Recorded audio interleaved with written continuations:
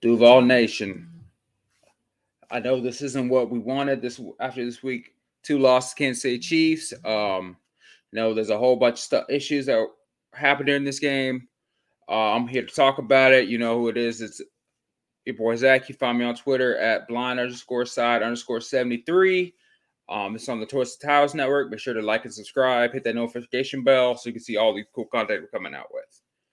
But all right, so let's get into the game. Um, I'm gonna give you a little recap, and then at the end, I'm gonna talk about week three against the Houston Texans. Um, this offense is not what we thought it was gonna be. Um, I don't know if it's the Press Taylor factors fully, if it's the offensive line being terrible, which is an issue, but is that the only issue? Um, is it this super aggressiveness stuff that should have got cleaned up with our new kicker that was excused last year that Doug Pederson didn't trust Riley Patterson to kick these field goals, but McManus has the leg to kick it.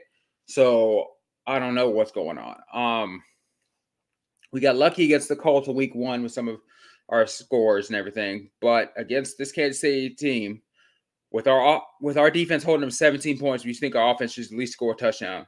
Um, especially at the one yard line when you have a six six quarterback or you draft a running back to be your power back, you try to roll out. Um, I personally feel like our play calling is really bad. I think Doug just needs to take it back. I know, and he won't do it. We know. Um, we know, unfortunately, Doug's a, as most head coaches are, they're kind of a stubborn breed. Um, I don't think the Press Taylor experiment's working. I mean, usually you have like, well, at least we still can run the ball good, or at least we can do this, at least we can do that. None of it's been good. Um, a lot of it's more Ridley being Calvin Ridley being an elite receiver, or Kirk or Trevor being able to I everybody. This offensive line is not good. Um, I really thought it was going to be fine after last year.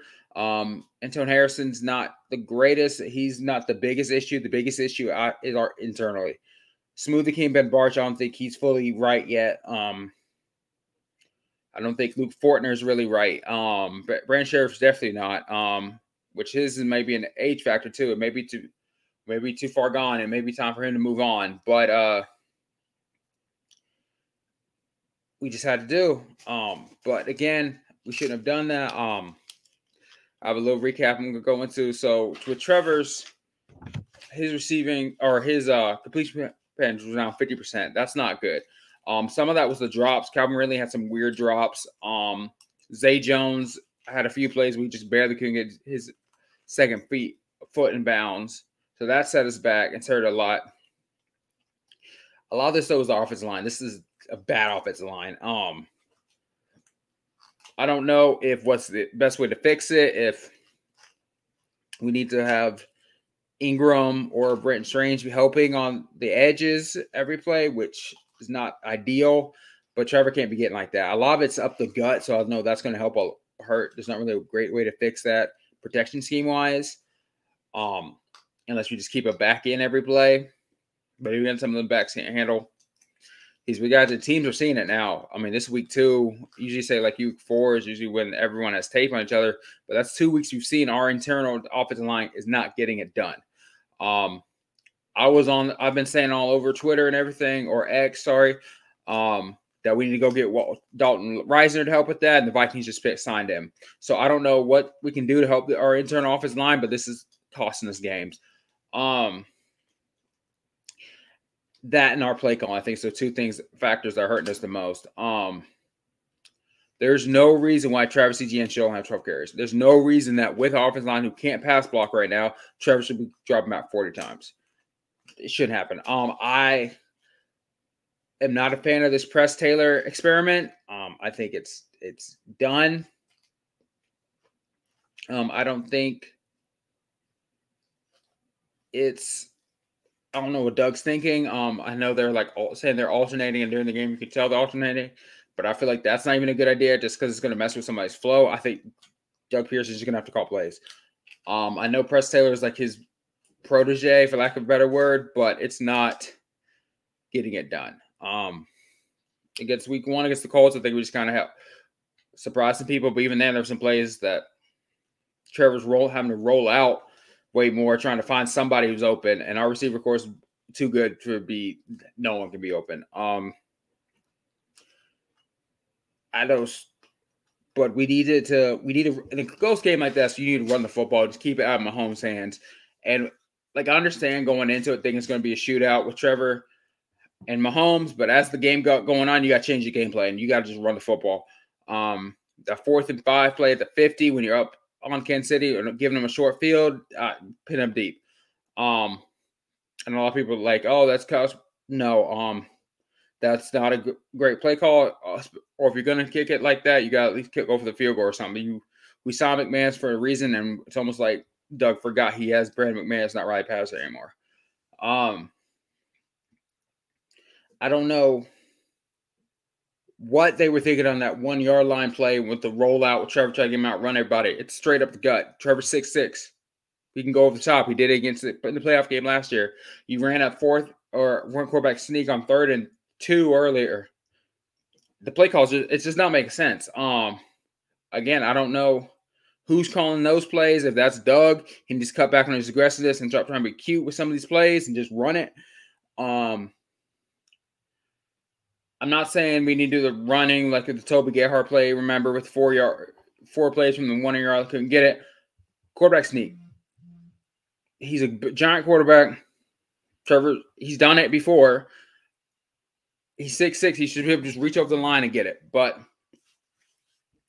I don't know. Um, I will say um the, on the defense though, I'm not going to say all negative today. That defense is amazing. Our defense is a lot better than we thought it was. I remember last year, a lot of us were calling for Mike Caldwell's job. He's been that maybe right. Maybe Press is going to do that, but at least there was moments last year with Mike Caldwell like, oh, okay, we have good defense. Personally, there's been nothing. I don't. I'm saying no anything good. Um, I don't know if some of this is just the offensive lines is bad, like I said, but we got to step up. Um, Engram, Evan Engram, he's looking good. Um, he's not getting the place he, he was getting before because obviously you have Calvin Ridley and Kirk and Zay Jones first, but he's still good for a couple plays every game, which uh, which is great to hear. Um, he's showing up for his contract uh, that he just earned. That's good to see. Um, Chaisson, he got a sack on Mahomes, and Mahomes is a hard quarterback to sack. So respect to Cal uh, Chaisson. I know a lot of us here the Jags family don't really want him to play that much. I know I've been outspoken that I want um Melvin Ingram to get signed, but he got sacked, so good for him. Um, he's tied with Travon Walker for second, of course, behind Josh Allen with his three. Um, hopefully Josh Allen can get sacked this week against the Texans, but we'll see about that. Um, and then another thing I want to talk about is our safety play. Um, Rayshawn Jenkins did have that one play where he's beating a lot of people were like, get him off the field. But again, Dewey as our backup safety is good as a third safety. When he starts, it's not usually the greatest thing. Um, Daniel Thomas isn't. It's kind of we know what he is. He's more of a team, team players. And Antonio Johnson's out, so we don't know what he's looking like yet. Um, with that hamstring. When he comes back, I'm down for seeing him rotating him and Jenkins to see what happens because we all know Andre Cisco is going to be starting, and Andre Cisco is proving it. Um, but Cisco, I mean Jenkins isn't a bad safety. I'd probably put him in the top 20 safeties. Um, I just don't feel like like he gets the tackles usually, but he doesn't really make as many plays as Cisco does. I mean, he's just going two games, has two turnovers. He's forced the fumble against Colts. He had the interception where he baited Mahomes a little bit on that. So and baiting Patrick Mahomes, some of the trick plays he Mahomes does is that's a big thing for me personally. Um, we saw what he was in college at Syracuse, so I feel like he can be a good safety. I feel like he's going to be end up being by the year top 10 safety in the league. Um still needs little help when it's open field, but again, he's not that he's more of a free safety, so we shouldn't really have to worry about those plays most of the time. Um but yeah, that's mostly my recap. Um make sure to check out our Patreon and everything at toasttocows.com um, our web, which is our website, our Patreon. That's patreon.com to source titles to see some really cool ideas that we have on there. Different tiers that you pay, different more and more cool stuff you can get. You can get merch, you can get insight on with fantasy game league now that we're in our fantasy seasons. Um, so make sure to check all that out on website, and then of course check out the CFB Nation for some college football news. Um, remember Coach Prime, he's showing everybody, so we, we talk about that on that. Oh, so make sure to check that out on YouTube, and that's the CFB Nation, not CFB Nation. Um, but yeah, check all those out. Support, help us support the channel, so we can put out some of these cool, cool contents for us. So, without further ado, I'm gonna get into my little week three preview. Um, it's another, it's a divisional game. So that's a big deal. It's CJ Stroud, it's his third start. He um put up a bunch of yardage against the Colts as their comeback. Um, I think our defense is a lot better than the Colts. So I don't think he's going to be able to do what he did to them to us, but we'll see. Um, with Nico Collins and Tank Dell, who if they look good, but they're not play, haven't fought a corner like um, Tyson Campbell. Um, that's an elite corner right there. That's I personally put him in the top five, six quarterback or corners in the league right now. And Darious Williams right up there with him. I really hope Darious Williams could get some interceptions though. That would make him great. He he gets hands on him. He they just ends up tipping him up. Um, I don't know if he needs to do hand drills with Evan Engram because remember Evan Engram before he came to Jacksonville had terrible hands and now he's catching everything. So maybe that's a good idea. But come on, come on, Darius. We I want to pick. Um, I want to see your first interception as a Jaguar. Um, not just knock him down, want him back, give the offense some more chances. Um, like I hinted at before, uh, Cisco's going to be a beast in this game. I feel like he's going to bait CJ Stroud again. Just like, he, I mean, if you bait Mahomes, who's the best quarterback in the league, you can bait the rookie. Um, they're all good. I mean, Damien, so I feel like that should be good. Our defensive line is great at stopping the run um, till the end of the Kansas City game, of course, when they were just tired. They've been on the field the whole time. This is um so they force turnovers, offense goes three and out or doesn't get any points other than a field goal, even though you're in great position. Um, there's a whole bunch of problems. So in that game, so I feel like they just got tired, but I feel like we should be they should be regenerated and show maybe they'll get a score this week. Um, Dameon Pierce, I don't think he'll do as much like he did last year in the first game. I feel like all of our run stopping has gotten a lot better. Um, especially, I mean, Travon Walker, he's a great, he's still not a great pass rusher, but his run stopping is great. Um, it does suck that we drafted number one overall and he's not getting as much sack numbers, but we all knew this was going to be a project. Um, I personally feel like later in the season when Devon Helmets is back, I feel like we might, he might do a little more. Um, I just feel like he's kind of it's kind of limiting right now. With we don't want to run him out on the D line right now as like a backup, but I think he'll do a lot better when you put him at like the five tech. Neat, but we'll see. Um, I really hope our defense is going to step up and show that, but we should be fine even with Laremy Tunsil and Shaq Mason being elite um offensive linemen. I just feel like ours is are, we're better. Our D line and we're deeper, so eventually they're just gonna get so many different looks. Uh, maybe we get Yasir Abdullah some play in there. It's like a speed guy behind all the power guys we have. But again, we'll see how that works. Um, then I'm gonna talk about all right. So we had we've had two weeks of two different receivers being the leading receiver. Um, week one is Calvin Ridley um, having a great game, and Kirk kind of being quiet. This week it was Kirk having a big game, really kind of being a little quiet. Um, I feel like this is going to be something that's going to alternate all the way throughout the rest of the season. Um, just I feel like it's going to be a matchup base, and then we have big play Zay out there too. And our biggest thing with our offense, I feel like we need to stop though, is those Agnew plays. We all of us in Jacksonville knows them. They don't work. Um, I'm not saying don't play Agnew, but we need to stop. Oh, Agnew's in the game. Let's do a little jet sweep. Oh, Agnew's in the game. Our receiver screen. That teams know that if he's in the game, that's where they're we're going for him. Need to have more as decoys. Um, I feel like if he if everyone's healthy and he's in the game, defense is just go. I, it's blowing up every play.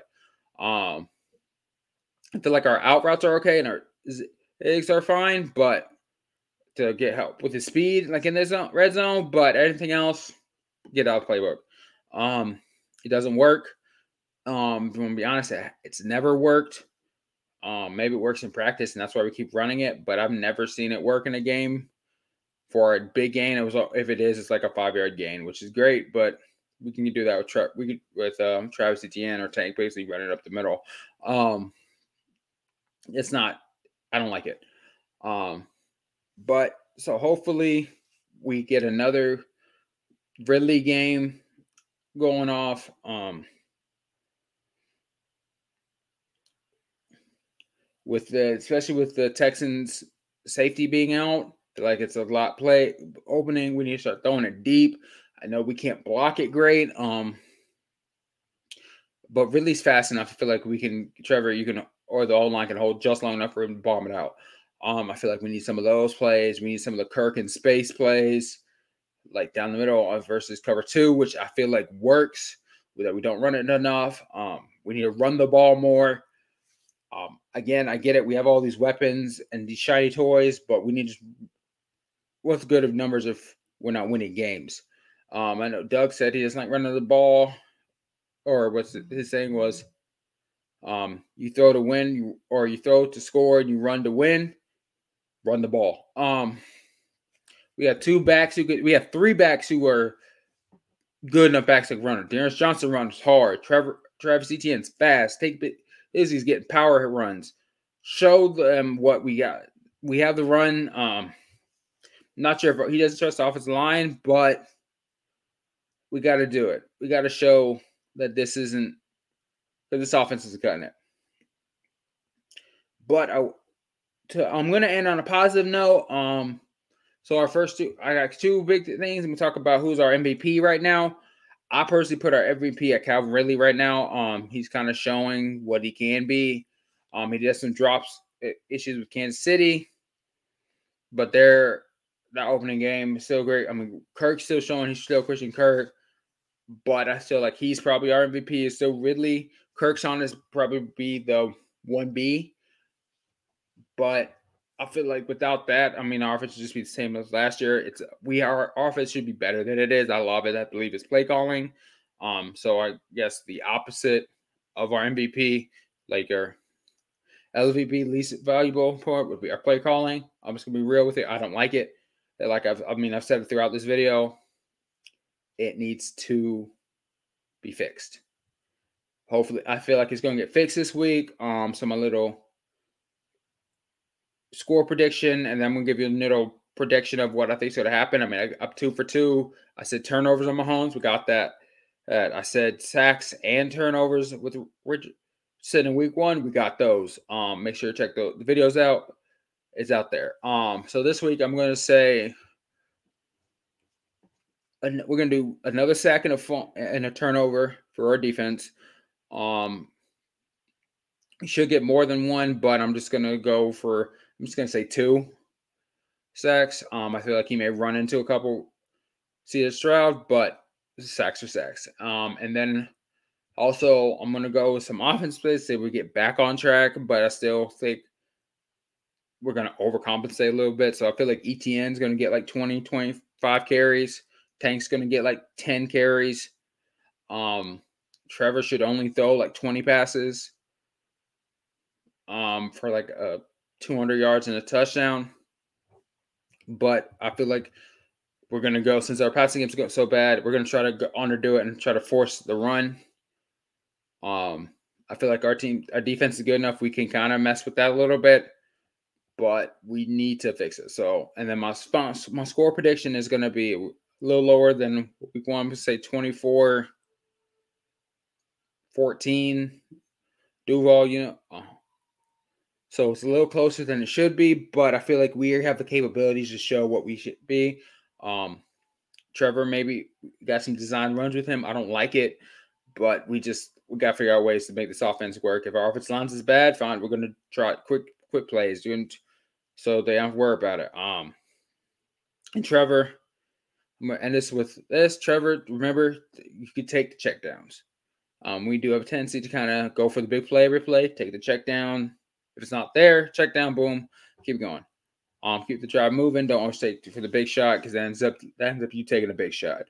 Uh, especially with this offensive line. Maybe when Cam Robinson gets back, it gets better. I don't think it will be because I feel like we're just going to move Walker Little inside, even though I feel like Cam should be inside. Um, it's not going to fix it. Um, I feel like it just we need to revamp all into all the internal offensive linemen.